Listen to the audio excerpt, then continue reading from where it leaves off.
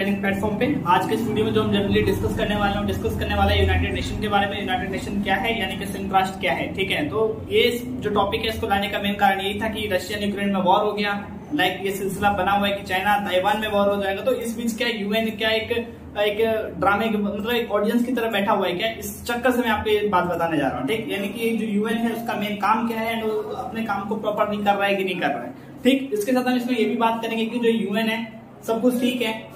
लगभग जितने भी इसके मेंबर्स हैं, सब ठीक है। क्या इसके अंदर आज भी अमेरिका का प्रभुत्व बना हुआ है, नहीं बना हुआ है? या फिर एक नाम का एक दस्तावेजी रूप में यूएन है या किसी, इन सब चीज़ों पर बेसिकली आज बात करने वाले तो सबसे पहले हम ये जानेंगे कि भाई यूएन है क्या? ठीक उसके बाद नेक्स्ट है यूएन के कौन कौन से अंग हैं? इसके बाद हम ये जानेंगे कि संयुक्त राष्ट्र की, यानी कि यूएन की कौन कौन सी एजेंसी हैं? लगभग 15 एजेंसी जनरली हम एट के ऊपर बात करेंगे। एट के बारे में मतलब डिटेल्स नहीं, आपको ओनली नाम बताएँगे हम, ठीक? उसके बाद हम बात करेंगे जो यूनाइटेड नेशन है, उसका विश्व में क्या योगदान है? चाहे आर्थिक रूप से, सामाजिक रूप से, सांस्कृतिक रूप से, पर्यावरणीय रूप से, उसके साथ साथ मानवीय मामलों के रूप से, स्वास्थ्य के रूप में इसका क्या क्या योगदान है? भारत के लिए इसका क्या इंपॉर्टेंस है? इसके साथ ये भी सवाल आता है कि अब भारत भी क्या सिक्योरिटी काउंसिल से जब हम टॉपिक स्टार्ट करेंगे, उसमें हम ये डिस्कस करेंगे क्या भारत भी सुरक्षा परिषद का सदस्य बन सकता है नहीं तो इससे रिलेटेड हम बात करेंगे। नेक्स्ट वीडियो वगैरह में। ठीक है तो आज का जो ये वीडियो जनरली यूनाइटेड नेशंस पे है यूनाइटेड नेशंस के बारे में ही हम जानेंगे, वो जनरली है क्या? ओके तो सबसे पहले बात करते हैं संयुक्त राष्ट्र क्या है तो संयुक्त राष्ट्र की जो स्टेब्लिशमेंट है, वो कब हुई? ये हुई थी ट्वेंटी अक्टूबर, ठीक है? 24 अक्टूबर 1945 में इसका स्थापना हुआ था। ठीक, इसके स्थापना का मेन कारण क्या था? इसका मेन कारण यह था कि विश्व में शांति बहाल करेगी, जो देशों के बीच में युद्ध है, उस युद्ध को कम करेगी, यानी विकास के दौर में सभी देशों को आगे लेके जाएगी। इसका मेन कारण ये था। लेकिन क्या ये उससे पहले क्या कोई ऐसा ग्रुप नहीं था? ये भी सवाल आता नहीं। उससे पहले भी एक ऐसा ग्रुप था जिसको क्या कहा जाता था? लीग ऑफ़ नेशंस कहा जाता था, जिसे प्रथम विश्व युद्ध के बाद बनाया गया था। ठीक इसलिए कि वो विश्व में नेक्स्ट युद्ध ना होने दे। लेकिन लीग ऑफ़ नेशंस के बनने के बाद ही विश्व में एक और वॉर हुआ, जिसे हम द्वितीय विश्व युद्ध कहते हैं। कब से कब तक हुआ? कमेंट बॉक्स में बताओ, कब से कब तक हुआ, ये मैं नहीं बताऊँगा। ठीक तो जैसे द्वितीय विश्व युद्ध हुआ उसके बाद एक संगठन बनाया गया, जो संगठन क्या, कौन सा था? यूनाइटेड नेशन था। कब बनाया गया? चौबीस अक्टूबर उन्नीस को बनाया गया। मेन कारण ये कि देशों के बीच में युद्ध को रोके, विकास को आगे में विकास को बढ़ावा दे, शांति बहाल करे, एंड मानव अधिकार की रक्षा करे, इसका मेन पर्पज ये रहा। ठीक यूएन के जो अंग है, वो कौन कौन से संयुक्त राष्ट्र महासभा, सामाजिक एवं सांस्कृतिक परिषद, ठीक, उसके बाद संयुक्त राष्ट्र रक्षा परिषद, संयुक्त राष्ट्र न्याय परिषद संयुक्त राष्ट्र अंतर्राष्ट्रीय न्यायालय और संयुक्त राष्ट्र सचिवालय। ये क्या है इसके मेजर? यूएन के अंग है। ठीक? उसके बाद जनरली आता है संयुक्त राष्ट्र की कौन कौन सी एजेंसी उसके लगभग पंद्रह एजेंसियाँ हैं, जिनमें से आठ एजेंसी यहाँ लिखे गए हैं, और भी का नाम मैंने नहीं बताया। अगर आप बोले तो मैं बता देता हूँ। फ़र्स्ट है क्या? खाद्य और कृषि संगठन। दूसरा हो गया अंतर्राष्ट्रीय नगरीय उद्यान संगठन। तीसरा हो गया कृषि विकास के लिए अंतर्राष्ट्रीय कोष। उसके बाद अंतर्राष्ट्रीय श्रम संगठन, अंतर्राष्ट्रीय मुद्रा कोष, विश्व बैंक, विश्व स्वास्थ्य संगठन, विश्व व्यापार संगठन। जनरली आप विश्व बैंक, विश्व स्वास्थ्य एंड विश्व व्यापार संगठन के बारे में क्या करते हैं? ज़्यादातर सुनते रहते हैं इसके साथ अंतर्राष्ट्रीय मुद्रा कोष आई के बारे में भी आप सुनते रहते हैं। इसके साथ और भी कई संगठन है एजेंसी है जो संयुक्त राष्ट्र के अंदर में काम करती है। इसके साथ अगर बात करें पूरे के पूरे वर्ल्ड में तो इसका योगदान जो है काफ़ी महत्वपूर्ण रहा। योगदान से रिलेटेड क्या? अगर आप आर्थिक रूप से इसका देखेंगे तो इसका मेन पर्पज यही है कि भाई सभी देशों में इक्वल डेवलपमेंट करना, कि सभी देश क्या हो कि विकास के दौर में आगे हो। चाहे वो विकसित देश हो, उनमें भी डेवलपमेंट की गति हो साथ साथ जो अल्पविकसित देश है उनमें भी डेवलपमेंट की गति हो। लेकिन विकसित देश काफ़ी ज़्यादा विकसित है तो उससे ज़्यादा जो अल्पविकसित देश है, उनके विकास पे इनको फोकस करना है। इसके साथ इसका मेन पर्पज ये भी होता है कि जो ग्रामीण क्षेत्र है, जो जो गाँव, जो ग्रामीण क्षेत्र, यानी कि जहाँ पे स्वास्थ्य नहीं है, शिक्षा नहीं है, इन सब क्षेत्रों में भी क्या करना डेवलपमेंट जैसे कार्य को आगे बढ़ाना इसका मेन पर्पज है। दूसरा, इसका सामाजिक कारण, सामाजिक उद्देश्य क्या है? या फिर सामाजिक योगदान क्या है? मानव अधिकार की रक्षा करना। मानव अधिकार की रक्षा करना मतलब एक डिस्पेरिटीज को कम करना। डिस्पेरिटी से रिलेटेड मेरा कहना ये कि पुरुष, महिलाओं में जिस तरीके से डिस्पेरिटी इन सब चीज़ों को कम करना, इसके साथ जो मानव के जो अधिकार है, ऐसी चीज़ देखना कि उसका हनन ना हो, मानव को उसके अधिकार प्रॉपर रूप से मिलना मेन कारण है। उसके बाद आते हैं किसने हम? पर्यावरण के रूप में। ठीक? पर्यावरण रूप में इसका क्या योगदान है? तो पर्यावरण रूप में संयुक्त राष्ट्र का एकदम महत्वपूर्ण योगदान है। क्योंकि जो जैसे कि जिस तरीके से अभी ओजोन परत का छेन हो रहा है, यानी कि ओजोन परत प्रॉब्लम्स में आ रहा है तो इससे रिलेटेड इश्यूज़ को लेके आना। वृक्षों की कटाई हो रही है, इससे रिलेटेड इश्यू को लेके आना। वन्य जीवों का संरक्षण जो है इस चीज़ों को बढ़ावा देना क्योंकि कई जगह स्थानों पे पशुओं का शिकार किया जा रहा है तो इन सब मुद्दों को ये लेके आता है। इसके साथ साथ ये पर्यावरण संरक्षण पर भी फोकस देता है कि इससे पर्यावरण को इम्पैक्ट जो है ह्यूमन एक्टिविटी से काफ़ी ज़्यादा पहुँचता है तो ये भी कम से कम हो। तो इसके लिए किसकी इसकी एजेंसी इसे क्या कहा गया?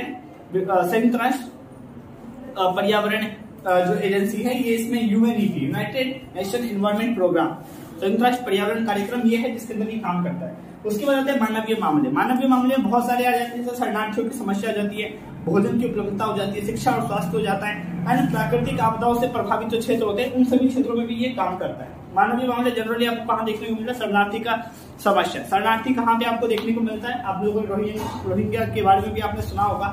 काफ़ी शरणार्थी रूप पे है, यानी कि अगर जनरली आप बात करें, ठीक है? जैसे कि जो बॉर्डर से रिलेटेड जो एरियाज़ वगैरह हैं, उन सब जगह पे ये लोग रहते हैं। तो इनके संरक्षण पे फोकस करना साथ साथ जो भोजन की उपलब्धता, समाज के कई ऐसे वर्ग हैं तबके के ऐसे लोग हैं जिनको पर्याप्त रूप से भोजन नहीं मिल पाता तो उनके भोजन की उपयोगता करना इसके साथ साथ शिक्षा और स्वास्थ्य पर भी फोकस करना। क्योंकि आ, अगर आप नॉर्मली मानते हुए जिनकी व्यक्ति शिक्षित नहीं है उसके पास स्वास्थ्य कैपेसिटी नहीं है तो जीवन का जो वे ऑफ़ लाइफ है वो क्या हो जाएगा? काफ़ी गिरने की स्थिति में हो जाएगा। तो संयुक्त राष्ट्र का एक मेन योगदान ये भी है कि मानव के मामले में भी अपना योगदान देता है। उसके बाद आ जाते हैं स्वास्थ्य के मामले को लेकर एच वगैरह एच आई एड्स के बारे में आप जानते होंगे। में इसकी मुख्य भूमिका रही कोल्ड जूस वगैरह के बारे में आपने सुना होगा। तो इसको नियंत्रण करने में, कम करने में इसने भी महत्वपूर्ण भूमिका निभाई। इसके साथ अभी आपने वैश्विक महामारी के बारे में सुना होगा, कोरोना के बारे में। तो कोरोना के बारे में भी जिस तरीके से वायरस का फैलाव हुआ और जिस तरीके से इसने अपने आप को एक्शन मोड में लेके आया, देशों के बीच में जो गाइडलाइंस वगैरह इसकी जो एजेंसी वो कौन सी एजेंसी थी?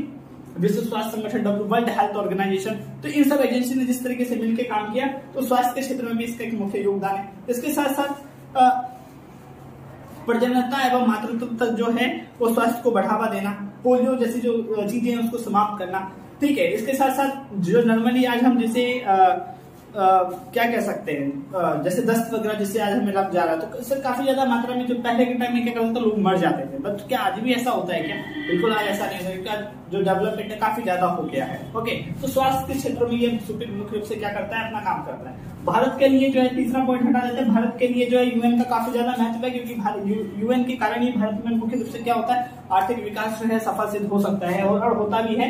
इसके साथ साथ सामाजिक विकास। सामाजिक भारत के संदर्भ में। इसके साथ अगर बात करें पर्यावरण रूप से तो पर्यावरण रूप से भी आप देख सकते हैं कि इसका अपना इंपॉर्टेंस है। चाहे वो स्वच्छ भारत मिशन में मिशन का बात हो या फिर अगर आप दूसरी अगर बात करें कि वन्य जीवों के संरक्षण की अगर बात कर रहे हैं, अगर आप तीसरी इस चीज़ को लेके बात करें कि कितना ज़्यादा कार्बन उत्सर्जन होता जा रहा है, हर घर जैसे शौचालय, जैसे मिशन वगैरह जो चलाए जा रहे हैं जिसमें पर्यावरण रूप से भी इसका एक अपना महत्वपूर्ण महत्वपूर्ण योगदान है, ठीक है? तो अभी के जो इस वीडियो में जनरली हमने क्या डिस्कस किया डिस्कस किया यूनाइटेड नेशन है क्या? यूनाइटेड नेशन को बनाया क्यों गया? तो बनाने का मेन कारण क्या था? ठीक, उसके बाद हमने डिस्कस किया कि भाई, उससे पहले क्या था? तो उससे पहले लीग ऑफ़ नेशंस था बट लीग ऑफ़ नेशंस ने द्वितीय विश्व युद्ध को नहीं रोक पाया, ठीक है? तो उसके बाद जनरली क्या बना दिया गया? यूनाइटेड नेशन बना दिया गया। यूनाइटेड नेशन को बना दिया गया, ठीक है? तकरीबन बीस में कितने सदस्य कुछ आपको अंदाज़ा है? ठीक है? कुछ भी आइडिया? तो इसको हमने जनरली डिस्कस किया। उसके बाद हमने इसके अंक के बारे में बात किया एंड इसकी जो एजेंसी है, उस पर हमने बात किया एंड इसका क्या क्या योगदान है, आर्थिक रूप से, सामाजिक रूप से, पर्यावरण, मानवीय एवं स्वास्थ्य रूप से क्या योगदान है, इस पर डिस्कस किया भारत के लिए इसका क्या इंपॉर्टेंस है, किसका यूनाइटेड नेशन का इस पर हमने थोड़ा थोड़ा डिस्कस किया। तो उम्मीद करता हूँ आपको ये वीडियो में कुछ कुछ समझ में आया होगा। एक बेसिक अंडरस्टैंडिंग बनी हुई होगी कि यूएन है क्या। ठीक है? लाइक इसके साथ एक शब्द और मैं जोड़ना चाहता हूँ कि अगर यूएन है यूएन एक बहुत पावरफुल है, क्योंकि एक नहीं पूरे पूरे वर्ल्ड में बहुत ज़्यादा पावरफुल है। लेकिन जो यूएन का स्टैब्लिश है, यानी कि जो यूएन है, वो कहाँ पे स्थापित है, कहाँ सिचुएटेड है तो ये जवाब आता है कि न्यूयॉर्क में सिचुएटेड है। तो काम करने वाले जो ज़ाहिर से ज़्यादातर लोग हैं, और न्यूयॉर्क के रहने वाले लोग हैं। तो कहा जाता है कि प्रभुत्व विश्व किसका, यानी कि शक्ति इस पे किसकी ज़्यादा होती है तो कहा जाता है अमेरिका की शक्ति है। यानी कि यूएन तो संयुक्त राष्ट्र का एक संयुक्त राष्ट्र संघ है, ठीक है? लाइक लेकिन उसमें जो मेन प्रभुत्व है, वो अमेरिका का ही देखने को मिलता है America is super power okay so जो जनरली हमने डिस्कस किया, आपको हल्का हल्का समझ में आया होगा कि क्या क्या पॉइंट्स थे हमारे एंड इट्स क्या क्या चीज़ें हैं जो हमने आज आपके साथ डिस्कस की हैं, कौन कौन सी एजेंसियाँ हैं जिससे हमने आपके साथ डिस्कस की तो उम्मीद करता हूँ कि आपको ये वीडियो समझ में आया होगा। फिर दैट्स इट फॉर टुडे मिलते हैं नेक्स्ट वीडियो में ओके